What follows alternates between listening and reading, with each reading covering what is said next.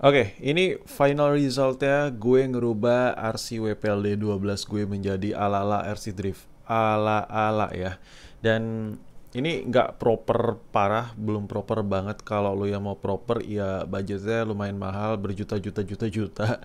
Ini gue low budget aja ya, bener-bener literally buat pelajar banget, pelajar parah sih, kayak ya ratusan ribu gitulah. Nah, di sini yang gue rubah apa aja nggak terlalu banyak tapi setidaknya gue bisa ngedrift. Ngedrift itu ngedrift lucu-lucu gitu kayak di lantai, di semen halus. Nah ini bisa banget nih pakai RC drift yang lagi lu lihat ini. RC drift lagi WPLE 12 maksud gue. Dan sebelum gue buat videonya kemarin uh, ngatung kan video RC WPLE 12 ini seharusnya udah kelar. Tapi gue harus uji coba dulu, video-video driftnya udah ada tapi belum bisa gue upload Nanti gue upload setelah video ini tayang.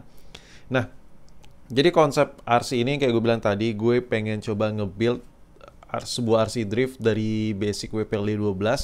Nah, tapi kalau gue lihat di Instagram banyak banget di YouTube YouTube, YouTube lain juga banyak banget yang udah pro-pro banget lah. nah, itu budgetnya keren-keren sih, tapi mahal-mahal banget, men. Kayak oh anjir, gue gue coba ah bikin yang low versi low budget Miskin Edition lah, Kismin Edition, edisi edisi kere. Jadi ini benar-benar kalau lo tonton sampai habis uh, WPL 12 ini benar-benar yang yang out, out of the box versi kerenya pokoknya. Kalau lo lihat di video-video lainnya tuh udah proper-proper semua. Kalau gue masih ala-ala banget. Nah, hal pertama yang gue lakuin adalah ngerubah bagian bannya dulu. Untuk ban ini gue udah jelasin tapi ini biar video all package aja, video komplit, video singkat sih sebenarnya. Yang pertama gue ganti ban ya. Kalau biasa pakai ban rubber, ban karet gitu, ini yang benar-benar ban 3D printed aja. Dia benar-benar fully plastik antara velg dan ban itu satu bahan, satu baku. Nah ini gue repaint aja asli warna putih di gue repaint black ya.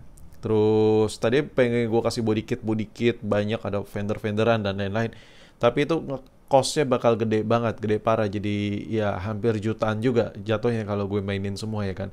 Karena konsepnya gue pengen coba nge-build sebuah WPLD 12 dengan budget ratusan ribu. Posisi baterainya tadi pengen gue taruh di depan. Nah tapi ya lo tau lah ini penggerak belakang. Kalau seandainya baterai ada di posisi depan ini bakal muter-muter doang karena kurangnya daya tekan di chassis ya terlalu ringan. Kenapa nggak pakai bak? Karena kalau pakai bak, ya konsep gue kayak ala-ala semi naked gitu. Jadi pengen gue kasih rangka cuman untuk saat ini ini versi basic basicnya aja versi dasar aja dulu gue kasih lihat ke lu. Nah untuk motor elektriknya ini uh, gue belum upgrade karena dengan traksi dengan motor elektrik yang ada di standar WPL 12 traksinya udah cukup udah spin spin gitu dan udah bis udah enak diajak ke drift kalau seandainya pengen upgrade sah-sah aja fan-fan aja dan ini WPLD 12. WPLD 12 enaknya mainin WPLD 12 itu spare partnya banyak. Lu mau upgrade dinamo ada, upgrade garden ada. By the way, gardennya nggak gue upgrade. Kalau upgrade garden di WPLD 12 yang bagian dalamannya gear itu kayak ya metal gear nggak butuh karena kita nggak ngangkut beban jadi nggak butuh-butuh amat. Nah, paling yang sisa dari tampilan fisiknya dari look depannya aja cuman untuk saat ini sampai sini dulu aja nah modif pertama yang gue lakuin ngilangin bagian bagasinya ya terus baknya gue hilangin bannya gue ganti ya ini ada pertama bak yang kedua ban sama velgnya gue ganti yang all plastik. Terus yang ketiga nah bagian kaki kakinya kaki kakinya ini ya you know lah ala ala chamber gitu cuman nggak chamber parah ya. Jadi ini kalau kita lihat nih di bagian chassisnya ini agak sedikit gue miringin biar bisa dapat posisi miring caranya gimana dan lu bisa lihat tuh. Agak miring bannya gue kasih lihat deh tuh ya kan? Bannya miring parah.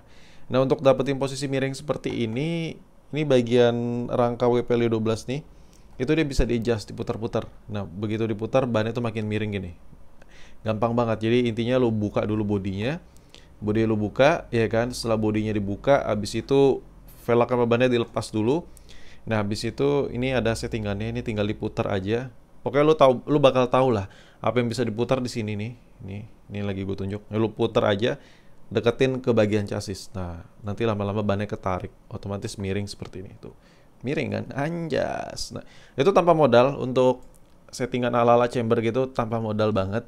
Dan di bawahnya dikasih sedikit apa penghalang biar dia agak ceper.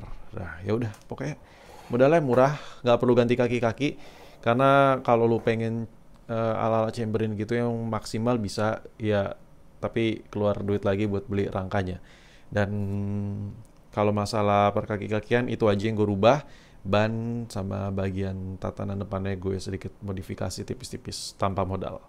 Nah, terus untuk bagian body untuk bagian body ini gue cat ya warna biru. Tau lah ya biru apa. Nah tapi ini nggak serta merta bisa belok aja karena nah ini tipis tuh lo bisa lihat nih. Ini bannya tipis banget waktu belok. Nah ini gue potong jadi ini sekedar informasi tambahan aja sekedar berbagi pengalaman aja. Ketika lu CPRN, ini lu pakai ban yang lebih lebar dari standar, ini lebih lebar dari ban WPL bawaan. Ini waktu belok-belok nih kena. Nah makanya nih gue potong. Ini ada ada bagian body yang gue potong. Sat, set, sat, set, sat, set. Anjas. Udah sih itu aja yang gue modifikasi. Dengan modifikasi ini gue ngeluarin duit ya murah lah. Cuman ratusan ribu sama spend time yang cukup ya memakan waktu dikit lah ngecatnya, motong-motong bodinya dan lain-lain.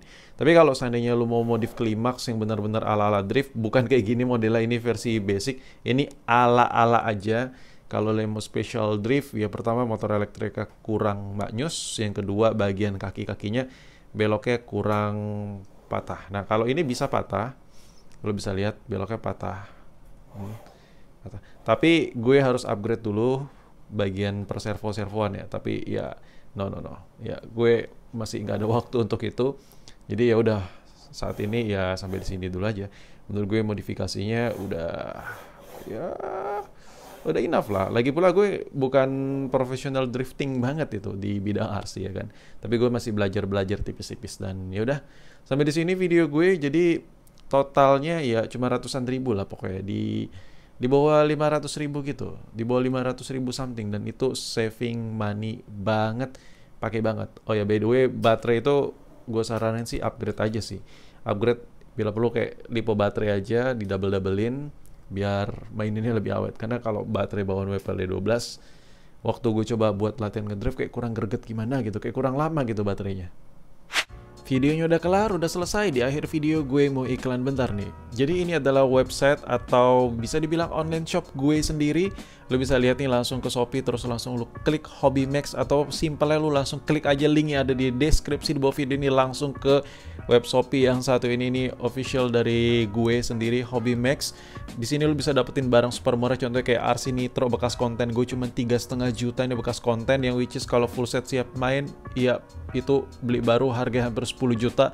Lu saving money banyak banget bekas konten dan gue jual di situ gak hanya itu aja gak hanya bekas konten barang upgradean langsung dari pabrik Cina di online shop. Gue juga jual contohnya kayak ban khusus RC scale 1 banding 10 ini buat dipakai di Nitro bisa di RC elektrik juga bisa dan ini udah full modifikasi. Dan gak hanya itu juga buat lo yang nyari spare part untuk mini 4 WD alias Tamiya super murah. Ini di 10 ribuan juga ada barangnya.